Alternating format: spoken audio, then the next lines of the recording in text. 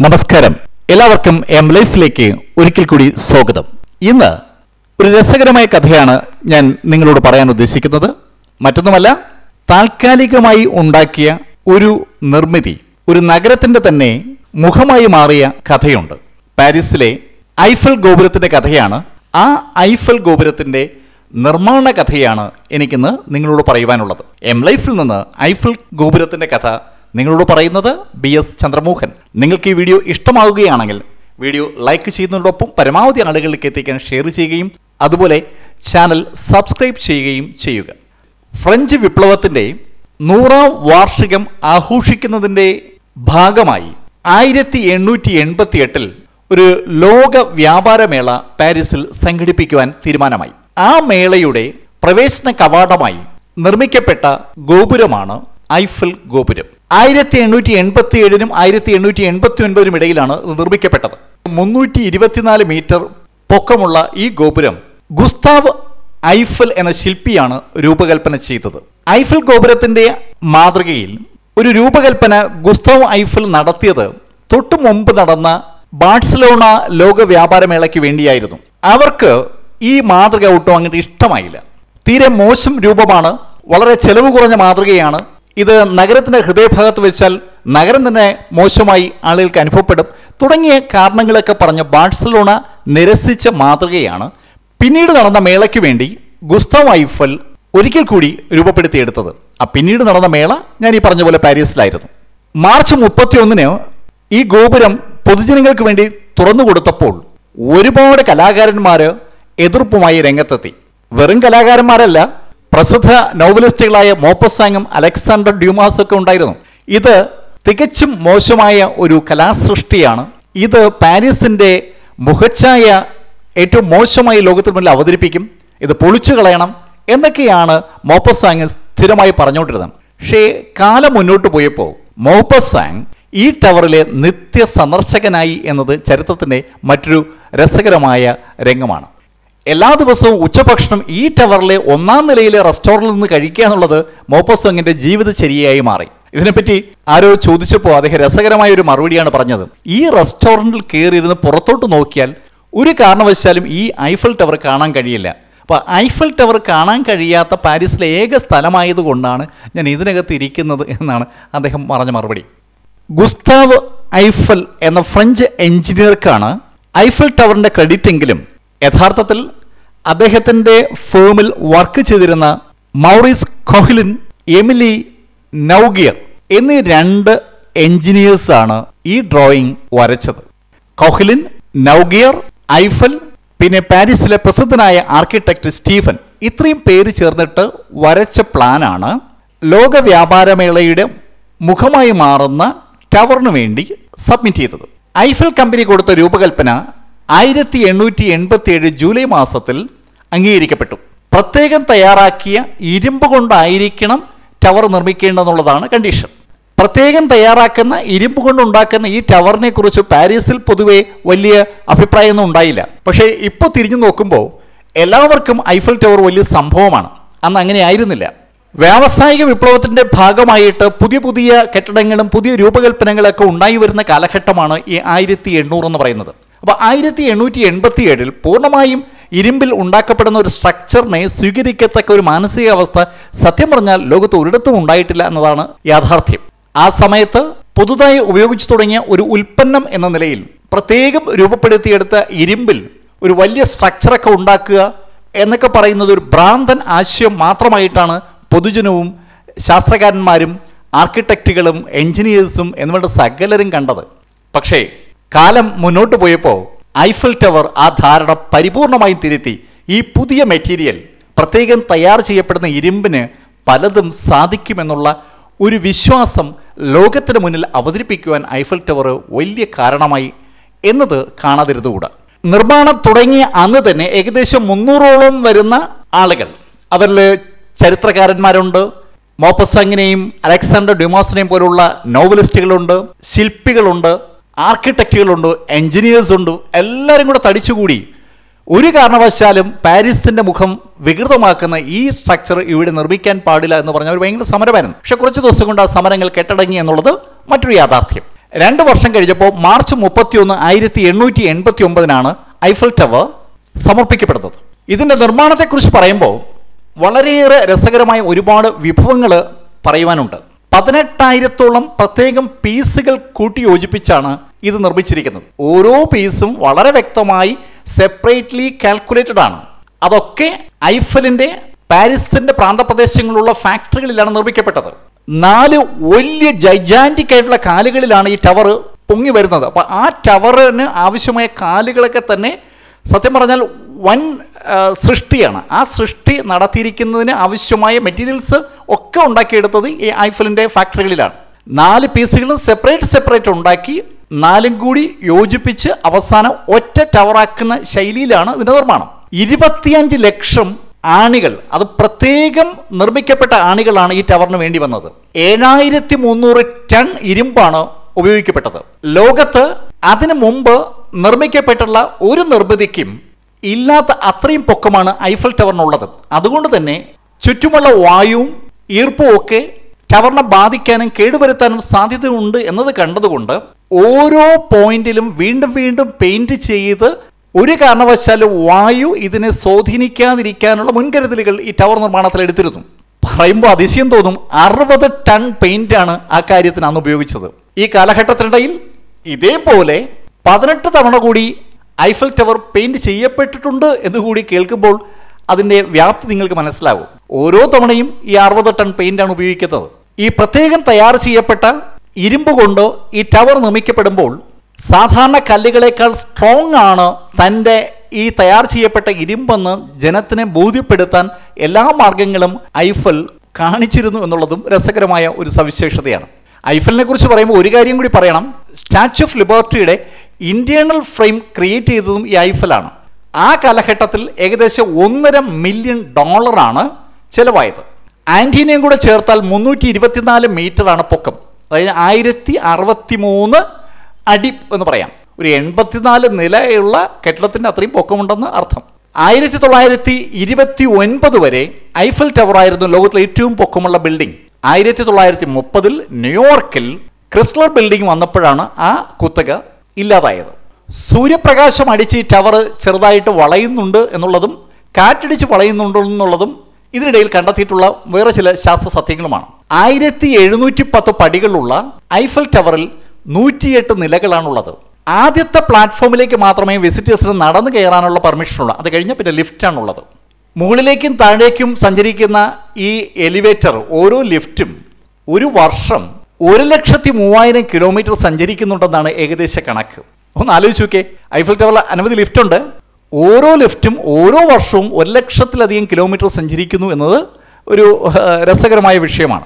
Eiffel tower രാത്രിയിൽ കാണാൻ കഴിയുക എന്നുള്ളത് വല്ലാത്തൊരു അതിശയമുള്ള രംഗമാണ്. ആ രംഗം എങ്ങനെ ഉണ്ടാകുന്നു എന്ന് ചോദിച്ചാൽ അതിനുവേണ്ടി സജ്ജീകരിക്കപ്പെട്ട ലൈറ്റുകൾ എന്ന് പറയുന്നത് അഞ്ച് ബില്യൺ ആണ്. അഞ്ഞൂറ് കോടി ലൈറ്റുകളാണ് ഐഫൽ ടവറിൽ തലങ്ങും വിലങ്ങുമായി പ്രതിഷ്ഠിച്ചിരിക്കുന്നത്. ഇതിന് ഫ്രഞ്ചുകാർ വിളിക്കുന്ന പേര് ലാ ഡമേ ഡിഫർ അതായത് അയൺ ലേഡി എന്നാണ്. ഉരുക്കു വനിത എന്നാണ് അവരുടെ ഭാഷയിൽ ഈ ടവറിനെ അറിയപ്പെടുന്നത്. ഒന്നാമത്തെ പ്ലാറ്റ്ഫോം നൂറ്റി തൊണ്ണൂറ് അടി മുകളിലാണെങ്കിൽ രണ്ടാമത്തെ പ്ലാറ്റ്ഫോം മുന്നൂറ്റി എഴുപത്തി ആറ് അടി മുകളിലും മൂന്നാമത്തെ പ്ലാറ്റ്ഫോം തൊള്ളായിരം അടി മുകളിലുമാണ്. ആകെ ആയിരത്തി അറുപത്തിമൂന്ന് അടിയാണ് പൊക്കമെന്ന് ഞാൻ നേരത്തെ സൂചിപ്പിച്ചിട്ടുണ്ട്. വ്യാവസായിക വിപ്ലവത്തിന് മുമ്പ് നിലനിന്നിരുന്ന നിയോ ഗോത്തിക്കും നിയോ റനൈൻസൻസ് ശൈലിയിലുള്ള എല്ലാ ശില്പങ്ങൾക്കും അപ്പുറത്താണ് ഐഫിൽ ടവറിന്റെ നിർമ്മാണത്തിന്റെ പ്രത്യേകത എന്ന് പറയുന്നത്. ഐഫിൽ ടവറാണ് യഥാർത്ഥത്തിൽ ആധുനിക കാലഘട്ടത്തിന്റെ ആദ്യത്തെ ആളുകളെ അത്ഭുതപ്പെടുത്ത നിർമ്മിതി എന്ന് വേണമെങ്കിൽ നമുക്ക് വിളിക്കാം. ഒരു പ്രത്യേക പർപ്പസ് ഇല്ലാത്ത ഒരു ബിൽഡിംഗ് എന്ന് വേണമെങ്കിൽ നമുക്ക് ഐഫിൽ ടവറിനെ വിളിക്കാം. കാരണം ഇത് പാരീസിലെ ലോക വ്യാപാര മേളയിലേക്ക് വരുന്ന ആളുകളെ സ്വീകരിക്കുന്നതിനുള്ള ഒരു ഗോപുരം മാത്രമാണ്. പക്ഷേ അത് പൊളിച്ചു കളയാതെ നിലനിർത്തിയത് കൊണ്ട് ലോക അത്ഭുതമായി അത് മാറി എന്നതാണ് മറ്റൊരു യാഥാർത്ഥ്യം. എന്ന് പറഞ്ഞാൽ യൂട്ടിലിറ്റിയുടെ കണിലൂടെ കണ്ടാൽ പ്രത്യേകിച്ച് ഉപയോഗമൊന്നും ഈ ഐഫൽ ടവറിന് കൊണ്ടില്ല. പക്ഷേ ഇതിന്റെ ക്രിയേറ്റിവിറ്റിയും സ്കിൽ സെറ്റും ഒക്കെ വിലമതിക്കാനാവാത്ത കാഴ്ചയാണ് ആളുകൾക്ക് സമ്മാനിക്കുന്നത്. അമേരിക്കയിൽ നിന്ന് ഇറക്കുമതി ചെയ്യപ്പെട്ട എലിവേറ്റേഴ്സാണ് ഈ ടവറിൽ അന്ന് ഉപയോഗിച്ചത്. ഏറ്റവും നല്ല എലിവേറ്റേഴ്സ് ഈ ടവറിൽ ഉണ്ടായിരിക്കണം എന്നുള്ള ഐഫലിന്റെ തീരുമാനമാണ് അതിന്റെ പിന്നിൽ. ഈ ടവറിൽ ആ ലിഫ്റ്റ് ഉണ്ടാക്കിയ പ്രത്യേകത എന്താണെന്ന് ചോദിച്ചാൽ ലിഫ്റ്റ് വഴി മുകളിലെത്തുന്ന ഏതൊരാൾക്കും പാരീസ് എന്ന മഹാനഗരത്തിന്റെ പരിപൂർണമായ ഒരു കാഴ്ചയാണ് ലഭിക്കുന്നത്. അസുലഭമായ കാഴ്ച എന്നൊക്കെ നമ്മൾ പറയില്ല അത് തന്നെ. ഹോട്ട് ബലൂണിലൊക്കെ ആകാശത്ത് സഞ്ചരിച്ച് നഗരത്തെ കാണാൻ കഴിയുമായിരുന്ന വലിയ ചില പണക്കാരുണ്ട് ആ കാലഘട്ടത്തിൽ. അവർക്ക് മാത്രം ദൃശ്യമായിരുന്ന ആ കാഴ്ച ഏതൊരു സാധാരണ മനുഷ്യന്റെയും കൺമുമ്പിലേക്ക് എത്തിക്കുവാൻ ഐഫൽ ടവറിലൂടെ കഴിഞ്ഞു എന്നുള്ളത് ഐഫൽ ടവറിന്റെ വലിയൊരു എന്താ പറയുക മാർക്കറ്റിംഗ് ടൂളായി മാറി. ലോകത്തുള്ള ഏതൊരാൾക്കും ഐഫൽ ടവറിൽ കയറി പാരീസ് നഗരം മുഴുവൻ കാണാൻ കഴിയുന്നത് അന്നേ അതിനകത്ത് സ്ഥാപിച്ച ലിഫ്റ്റ് എന്നുള്ള ഒറ്റ കാരണത്താലാണ്. ഇത് ഒരു വലിയ സ്ട്രക്ചറാണെന്ന് മാത്രമല്ല ജനാധിപത്യപരമായ ഒരു സ്ട്രക്ചർ കൂടിയാണ് എന്ന് എടുത്തു പറയേണ്ടി വരും. കാരണം എല്ലാ ജനങ്ങൾക്കും പ്രാപ്യമായ ശൈലിയിലാണ് ഈ സ്ട്രക്ചർ ചെയ്തിരിക്കുന്നത്. ലോകത്ത് അനവധി നിർമ്മിതികൾ വേറെ ഒരുപാടുണ്ട്. അങ്ങനെ എല്ലാവർക്കും പ്രാപ്യമായ നിർമ്മിതികളല്ല പലതും എന്നുള്ളത് ഇത്തരണത്തിൽ നമ്മൾ ഓർത്തെടുക്കേണ്ട ഒരു വസ്തുത കൂടിയാണ്. ഈ ടവർ നിർമ്മിക്കപ്പെടുമ്പോൾ ഉണ്ടായിരുന്ന ഒരു ധാരണ എന്താണെന്ന് ചോദിച്ചാൽ ഇരുപത് കൊല്ലം കഴിഞ്ഞിട്ട് ഈ ടവർ പൊളിച്ചു കളയണമെന്നാണ്. ലോക വ്യാപാരമേള നടക്കുന്ന സമയത്തും നടന്നതിന് ശേഷവും ഇതുണ്ടാക്കിയൊരു ഓളം ഒരു വല്ലാത്ത മാറ്റമാണ് ആളുകളുടെ മനസ്സിലേക്ക് കൊണ്ടുവന്നത്. ഈ ടവറിന്റെ നിർമ്മാണ പ്രക്രിയ നടക്കുന്ന സമയത്തും അതിനു മുമ്പും ഇതിനെ എതിർത്തിരുന്ന ഒരു വലിയ വിഭാഗം ജനങ്ങളുണ്ട്. അവരൊക്കെ പബ്ലിക്കായിട്ട് ഐഫലിനോടും പാരീസ് സർക്കാരിനോടും മാപ്പ് പറയുന്നതൊക്കെ ആ കാലഘട്ടത്തിന്റെ ഒരു പ്രത്യേകതയായിരുന്നു. കാരണം അത്രയേറെ പാരീസിന്റെ ഹൃദയമായി മാറുവാൻ ഐഫൽ ടവറിന് കഴിഞ്ഞിരുന്നു എന്നതാണ് സത്യം. കഴിഞ്ഞിരുന്നു എന്ന് മാത്രമല്ല ഇപ്പോഴും അങ്ങനെയാണ് താനും.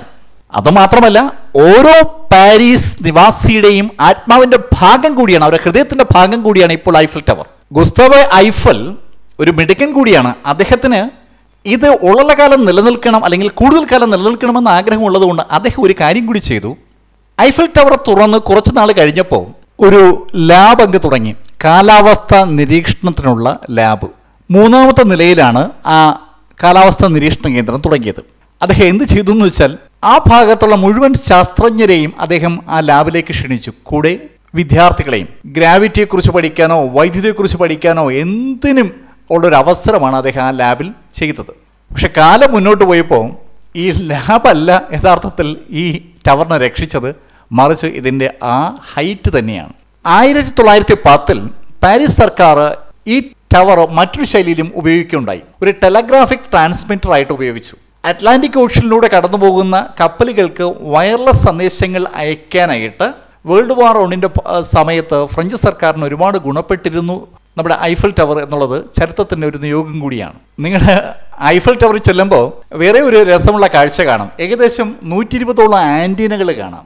ബ്രോഡ്കാസ്റ്റിംഗ് നടത്തുന്ന വിവിധ ടി വി ചാനലുകളുടെ വിവിധ റേഡിയോ സ്റ്റേഷനുകളൊക്കെ സിഗ്നലുകൾ അതുപോലെ മൊബൈൽ ഫോണുകളുടെയൊക്കെ സിഗ്നലുകൾ ട്രാൻസ്മിറ്റ് ചെയ്യുന്ന ടവറുകളെല്ലാം ഐഫലിലാണുള്ളത് ഇപ്പോൾ ഇതിനൊക്കെ പുറമെ പാരീസ് നഗരത്തിന്റെ ഹൃദയം കൂടിയായ ഐഫൽ ടവർ ഓരോ കൊല്ലവും എഴുപത് ലക്ഷത്തോളം സന്ദർശകരെയാണ് സ്വീകരിക്കുന്നത്.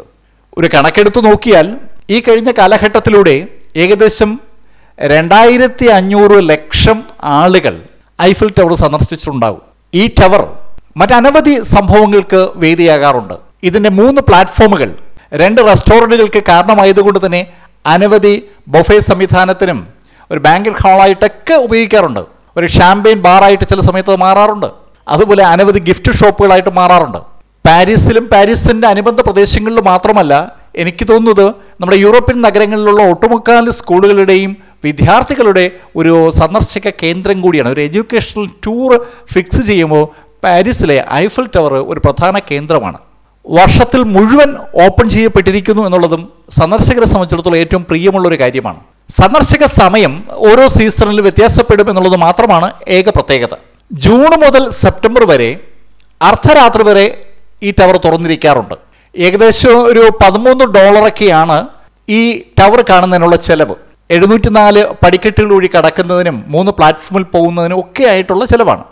ലോക ഫാഷന്റെ തലസ്ഥാനം എന്ന നിലയിൽ പാരീസ് ജനങ്ങളുടെ ഹൃദയത്തിൽ പതിഞ്ഞൊരു സ്ഥലമാണ്. ആ പാരീസിന്റെ ഫാഷന്റെ ഒരു മുഖമുദ്ര കൂടിയാണ് ഐഫൽ ടവർ അതുപോലെ ജനാധിപത്യത്തിന്റെ ഹൃദയമാണ്. അതുപോലെ എല്ലാവിധ എക്സിബിഷന്റെ ഹൃദയമാണ്. ഇത് ഏത് കാര്യങ്ങളിൽ കൂടി ആലോചിച്ചാലും ഐഫൽ ടവർ ഇതിലെല്ലാം ഇടപെട്ടിരിക്കുന്നു എന്നുള്ളതാണ് സത്യസന്ധമായ ഒരു വസ്തുത. ഈ ടവർ നിർമ്മിച്ച ഗുസ്താവ് ഐഫൽ ഒരു കാര്യം കൂടി ചെയ്തു. ഈ ടവറിന്റെ നിർമ്മാണത്തിൽ സഹകരിച്ച എഴുപത്തിരണ്ട് ആളുകളുടെ പേരുകൾ താഴത്തെ നിലയിൽ കൊത്തിവെച്ചിട്ടുണ്ട്. പിന്നീട് എപ്പോഴും പെയിന്റ് ചെയ്തപ്പോൾ അത് മറഞ്ഞുപോയെങ്കിലും പിൽക്കാലത്ത് വീണ്ടും അത് കാണത്തക്ക രീതിയിൽ ആക്കി മാറ്റിയിട്ടുമുണ്ട്. ആധുനിക കമ്പ്യൂട്ടർ സംവിധാനങ്ങളൊക്കെ ഇൻസ്റ്റാൾ ചെയ്താണ് ആയിരത്തി തൊള്ളായിരത്തി എൺപത്തി ആറിൽ ഇതൊന്നുകൂടെ ഒന്ന് പുതുക്കിയത്. കൃത്യമായി കമ്പ്യൂട്ടർ അധിഷ്ഠിത ലിഫ്റ്റുകൾ എന്ന് വേണമെങ്കിൽ നമുക്ക് പറയാം. തുടക്കത്തിൽ ഹൈഡ്രോളിക് മോട്ടോറാണ് ഉപയോഗിച്ചിരുന്നതെങ്കിൽ പിന്നീട് മുന്നൂറ്റി ഇരുപത് കിലോ വാട്ട് ശക്തിയുള്ള വൈദ്യുത മോട്ടോർ കൊണ്ടാണ് ഇത് പ്രവർത്തിക്കുന്നത്. തൊണ്ണൂറ്റിരണ്ട് യാത്രക്കാരെ ഒരേ സമയം വഹിക്കാൻ കഴിയുന്ന ഇന്നത്തെ ലിഫ്റ്റിന് ഇരുപത്തിരണ്ട് ടൺ ഭാരമുണ്ട്. രണ്ടും മൂന്ന് നിലയിലേക്കുള്ള ലിഫ്റ്റും ആദ്യം ഹൈഡ്രോളിക് മോട്ടോർ കൊണ്ടാണ് പ്രവർത്തിപ്പിച്ചിരുന്നത്. പിന്നീട് അവയും മാറ്റി ഇലക്ട്രിക് ആക്കി. ആദ്യം സ്ഥാപിച്ച ലിഫ്റ്റുകൾ തൊണ്ണൂറ്റി ഏഴ് വർഷത്തെ സുദീർഘമായ സേവനത്തിന് ശേഷം ആയിരത്തി തൊള്ളായിരത്തി എൺപത്തിരണ്ടിലാണ് മാറ്റി സ്ഥാപിച്ചത്. പണ്ടൊക്കെ ലിഫ്റ്റ് താഴത്തെ നിലയിൽ നിന്ന് മുകളിലെത്താനായിട്ട് ഏകദേശം എട്ട് മിനിറ്റ് സമയമെടുത്തിരുന്നു. ഇപ്പോൾ അത് ഒരു മിനിറ്റും നാൽപ്പത് സെക്കൻഡും കൊണ്ട് എത്തും ഈ ഗോപുരത്തിന്റെ ഒന്നാമത്തെ നിലയിലും രണ്ടാമത്തെ നിലയിലുമാണ് റെസ്റ്റോറന്റുകൾ ഉള്ളത്. ലോകത്ത് ഏറ്റവും കൂടുതൽ ആളുകൾ സന്ദർശിച്ച സ്മാരകം ഏതാണെന്ന് ചോദിച്ചാൽ അത് ഉറപ്പായിട്ടും നമുക്ക് ഐഫൽ ടവർ എന്ന് തന്നെ പറയേണ്ടി വരും. ഐഫലും തോമസ് ആൽവ എഡിസണും തമ്മിൽ സംസാരിക്കുന്ന ഒരു ശില്പം മൂന്നാമത്തെ നിലയിൽ വെച്ചിട്ടുണ്ട്. ഒരു മെഴുക് ശില്പമാണ്. കണ്ടാൽ ജീവനുള്ള രണ്ടുപേർ സംസാരിക്കുന്നതായിട്ട് തോന്നും. ആയിരത്തി തൊള്ളായിരത്തി നാൽപ്പതിൽ രണ്ടാം ലോക മഹായുദ്ധം നടക്കുന്ന സമയത്ത് പാരീസ് ജർമ്മനിയുടെ കീഴിലായപ്പോൾ ഈ ടവറിലേക്ക് എത്തിയ ഹിറ്റ്ലർക്ക് അതിശയകരമായ മറ്റൊരു ഓർമ്മയുണ്ട്. ഹിറ്റ്ലർ അങ്ങനെ അങ്ങ് എളുപ്പം കയറണ്ടെന്ന് വിചാരിച്ച് ലിഫ്റ്റിലെ കമ്പികളൊക്കെ അന്നത്തെ ഫ്രഞ്ചുകാർ മുറിച്ചു കളഞ്ഞു. അങ്ങനെ നടന്നാണ് ഹിറ്റ്ലർ മുകളിലേക്ക് കയറിയത്. ഐഫൽ ടവറിലെ ഒന്നാമത്തെ നിലയിലേക്ക് ഒരു ലിഫ്റ്റാണ് ഒന്നാമത്തെ നിലയിൽ നിന്ന് രണ്ടാമത്തെ നിലയിലേക്ക് അടുത്ത ലിഫ്റ്റ്. അവിടെ നിന്ന് മൂന്നാമത്തിലേക്ക് മൂന്നാമത്തെ ലിഫ്റ്റ്. ഇങ്ങനെയാണ് പോകുന്നത്. സന്ദർശകരെ സംബന്ധിച്ചിടത്തോളം പതിനൊന്ന് മണിക്ക് മുമ്പ് അവിടെ എത്തിയില്ലെങ്കിൽ പിന്നെ കയറേണ്ടി വരത്തില്ല. അത്രയേറെ ആളുകളാണ് മിക്കവാറും ഐഫൽ ടവർ കാണാനായി എത്തുന്നത്. ഐഫൽ ടവറിന്റെ മൂന്നാമത്തെ നിലയിൽ എത്തിയിട്ട് നമ്മളൊന്ന് ചുറ്റും നോക്കുമ്പോൾ പാരീസിൻ പാരീസിന് സമാന്തരമായി ഒഴുകുന്ന സീൻ നദിയും ചെറുതും വലുതുമായ കൊട്ടാരങ്ങളും ചാമ്പെലീസി നേത്രദാം പള്ളി ഒപ്പേര ഹാൾ നെപ്പോളിന്റെ സ്തൂപം എല്ലാം കാണാം വളരെ വ്യക്തമായി കൺമുമ്പിൽ കാണാൻ കഴിയുമെന്നുള്ളതാണ് മനോഹരവും അത്യ അപൂർവമായി ഈ കാഴ്ച. പകർത്തിയെടുക്കാനായിട്ട് ക്യാമറകൾ എടുത്ത് തുറക്കുക എന്നുള്ളത് ഓരോ സഞ്ചാരിയുടെയും സ്വപ്നമാണ്.